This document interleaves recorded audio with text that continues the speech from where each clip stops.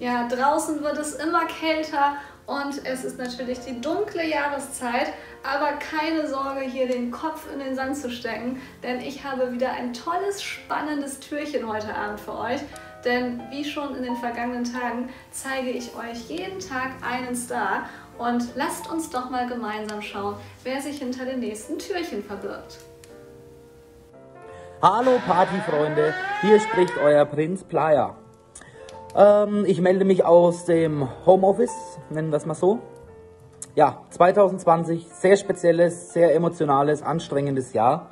Geht langsam zu Ende. Ich denke, wir sind alle froh drum und in äh, guter Hoffnung, dass es nächstes Jahr besser wird. Ja, 2020, es war sehr ruhig und ähm, ich hatte trotzdem das Glück, dass ich die ein oder andere Veranstaltung bespielen durfte, egal ob es jetzt ein Autokino war oder eine Sitzparty oder die legendäre Last in Hahnglühen Teamparty. Ein bisschen was ist trotz äh, allem gegangen und ja, bei mir hat sich glücklicherweise bis auf ein, zwei Veranstaltungen alles ins nächste Jahr verschoben. Also nächstes Jahr feiern wir dann wieder richtig zusammen ab. Ähm, ja, was gibt's sonst aktuell? Ich habe ja noch meinen Hauptjob in der Gastronomie, arbeite da voll im Moment.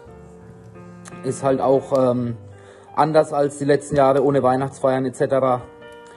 Aber besser als nur zu Hause zu sitzen. Ansonsten war ich des Weiteren sehr kreativ, habe ähm, sehr viele Songs geschrieben für, für mich und auch für andere Künstler wird nächstes Jahr die ein oder andere Nummer vielleicht kommen. Lasst euch überraschen. Ja, und wie gesagt, meine eigene Nummer wird dann irgendwann Anfang nächsten Jahres dann Release haben, ist im Moment in der Produktion. Und ja, Überraschung. Ja, des Weiteren noch, ähm, dieses Jahr hatten wir den Song mit ganz vielen tollen Kollegen zusammen. Mallorca, das sind wir.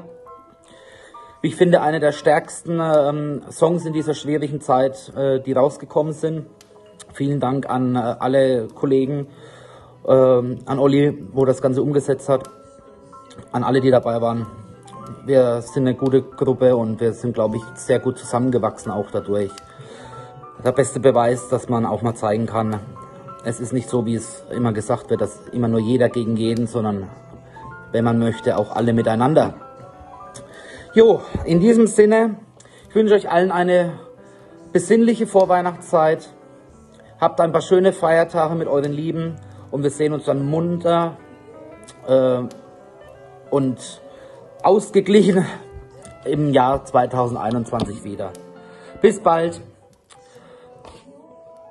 Alles Gute, euer Prinz Playa.